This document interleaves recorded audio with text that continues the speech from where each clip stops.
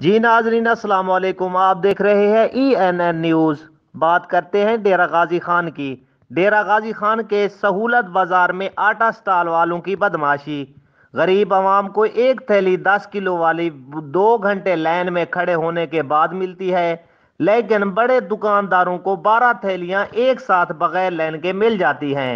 ये हनीफ खां पिताफी और जरताज गुल साहिबा के लिए एक सवाल या निशान है। वज़ीर आला सरदार उस्मान खान बुजदार साहब, मेहरबानी करें। गहरी नींद से जागें। Malik Abu Bakar E N N news Kot Addu.